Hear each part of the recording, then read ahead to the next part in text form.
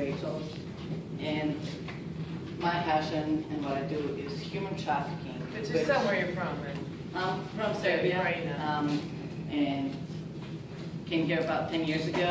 Um, we, in that region, we've had a large volume of people who were trafficked for the sex industry.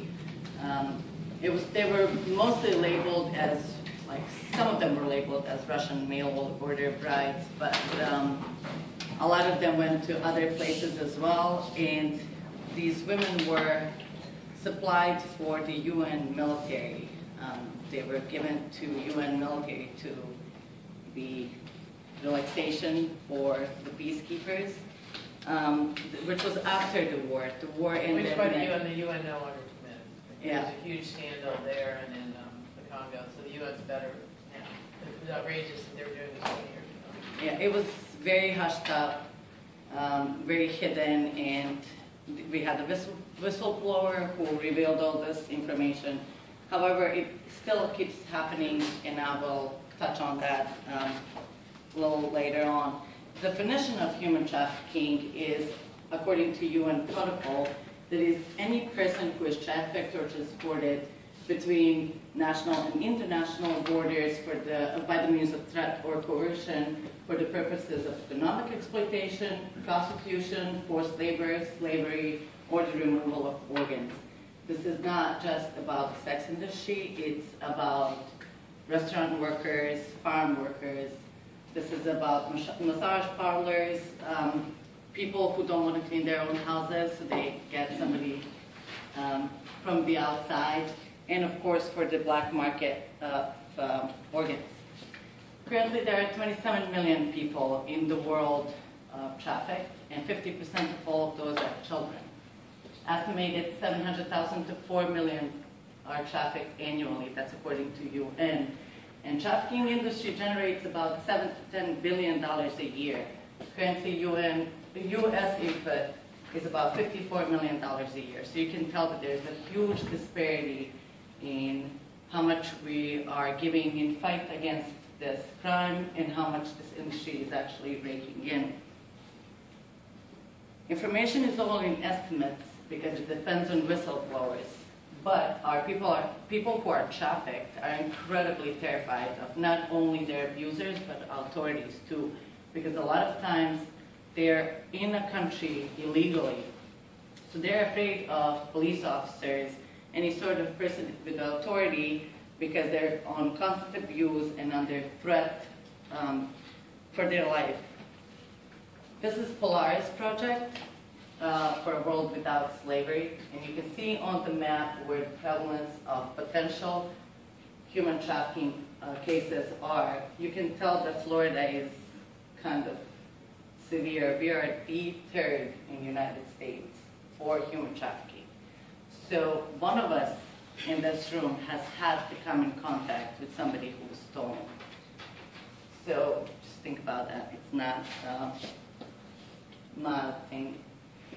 Human trafficking dates back to Roman and biblical times. Reformers in Europe in the 19th century named it the white slave trade, which is what it's still called. Um, that's the name that's still used in Europe. And it's named that way to distinguish it from the African American slavery.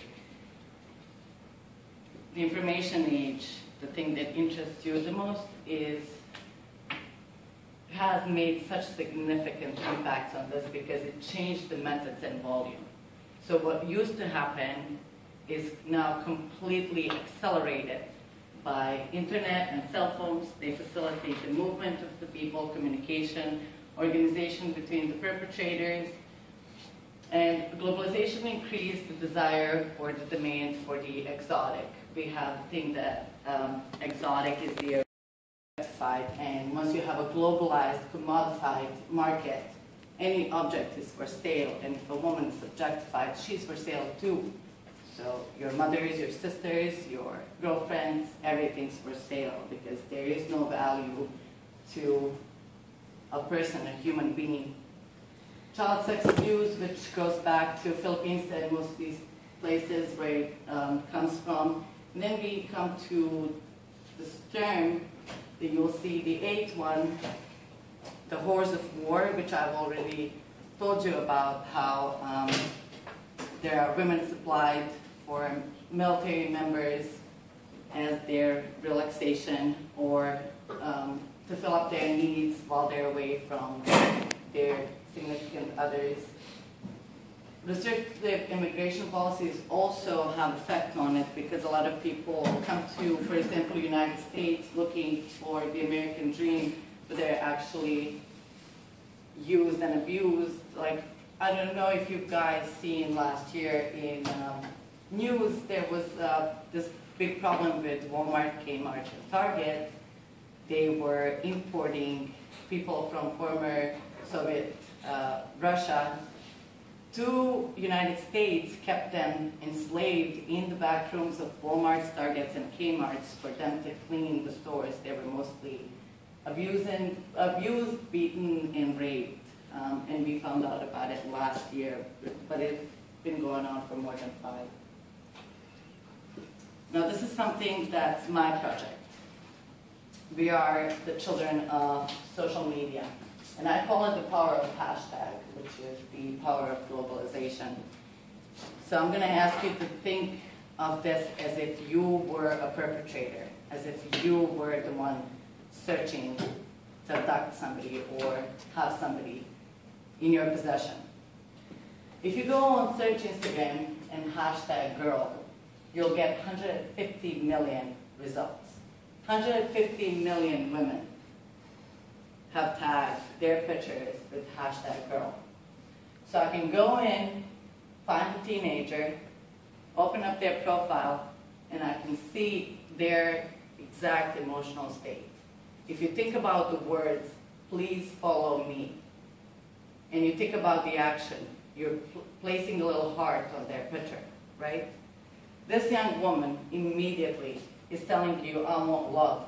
And you're giving it, giving love by pressing that little heart on a picture. It's, you're not thinking about it because it's like quick action, but people don't think about the words and what the words mean. So if I'm her, I'm going to find that girl, open up her Instagram, and immediately be connected to her life. There's also these lovely little things on Instagram called geotags. If you go somewhere and you check into a place, can now get a map of exactly where you are. I can press Street View and I can get exact picture of your house. You've done most of the work for me. Now, through Kik, which you all know about Kik also, I can create a bone. Kik is a little chat thing on Instagram where you can connect to people and talk to them, which is kind of like um, what AIM chat rooms were, but it's now on uh, Instagram form. Which also everybody puts their Facebook on Instagram too, so I can connect to you in any which form, and I can now create a bond. This next picture is the 12 signs, and it says 12 signs that an individual is being trafficked. I say it's 12 signs of somebody being created a bond with. If I'm a perp, I want to create an environment of love and friendliness with you. So I'm going to buy you things, I'm going to take you places, I'm going to tell you everything you want to hear. And then I'm going to tell you you own me. And then you have to work it off. And you have to work it off by providing sexual services. And this is number one uh, form by which human trafficking is done. They induct them by, for example, bringing them to United States or bringing them to the Western Europe and tell them that now that trip or that action has cost the X amount of money and you have to pay it off by providing uh, sexual services. Nobody's keeping track of how much you're paying off. You're there. You're now their slave. They can do whatever they want with you and they can kill you. They can discard of you at any point. In a lot of times, if you go through this and you read it, also the emphasis is on words. sexualized behavior, if you saw a young woman having sexualized behavior, the blame would immediately be shifted on her. Nobody would think about who's behind the sexual, the sexualized behavior. The behavior is immediately put onto the woman. Um, overly tired in class, you're immediately thinking this girl is a party animal. Uh, unexplained absences from class, signs of physical abuse such as birthmarks, uh, bruises, or cuts, which that should tell you immediately something's wrong. Um, and they also talk about older boyfriends, new friends with different lifestyles. They talk about uh, gang affiliations, things like that. But this is how they create, how perpetrators create a bond with young women, especially teenagers. Teenagers are a very vulnerable state. And if you give them love and attention, they feel like they now owe you. Like for girls, when somebody does something nice for us, we feel like we have to repay them. Um, it's our nurturing nature. It's because we're the ones bringing life, because we're supposed to have children. Uh, people use this. Perpetrators use this all the time. Men use this all the time. Sorry, guys, but. If you suspect somebody um, of being trafficked, this is the National Human Trafficking Resource Center, and that's the phone number. They're not just in the sex industry. They're in restaurants, they're on farms, uh, Walmarts and Kmart's of the world.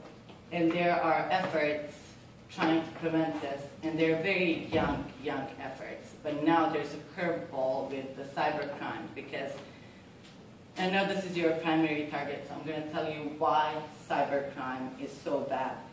It's the nu- number one and the biggest growing cyber activity. It's the number one cybercrime because somebody, it doesn't matter where you are anymore. You can be here in the United States and somebody can be in China or somebody can be in Russia and you're connected. You're connected through a hashtag, you're connected through internet. So perpetrators are connected in the same way. They can let each other know what's going on and move their operations within minutes.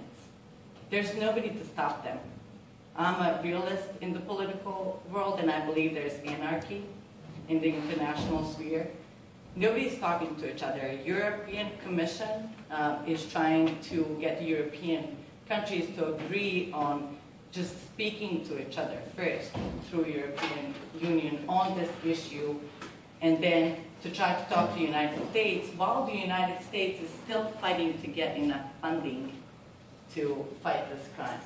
So it has to start from us. It has to start from us having the enough awareness that, that these things are out there. It has to come from movies like 12 Years a Slave, um, for us to be aware that slavery is not dead, slavery is alive and kicking and it's increasing constantly each year.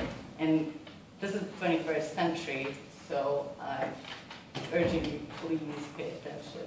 Let's try not to have slavery in the 21st century, because I don't want to go down in history as like people who didn't do anything about it, or people who didn't even care. Because we don't see it, we don't think it happens, we don't care about it, because it's not in front of us, It is in front of but us. it is in front of us. And what happens if you call that hotline? It's a Polaris project, which will connect you to um, a live person, there's no waiting, and they ask you questions, which if you look at this handout here, there is a set of questions you can ask them.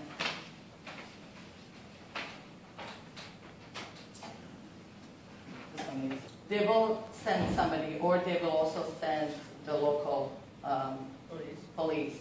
But like I said, we don't even have, the, the public doesn't have enough awareness, let alone the law, enforcement. We're still trying to get funding for this. So it's very dangerous at the same time, because if they catch you, you are most likely dead. if they catch you whistleblowing, that's why all the information is in estimates. It depends on people speaking up about this. And if they, the punishment is severe, it's not, it's not you're locked up without food for a couple of days. This is extreme physical harm and that, um, these are people who are forcing young women to see 18 customers a day, every day for years. It's like being raped 18 times a day for like years. That's not a very nice people.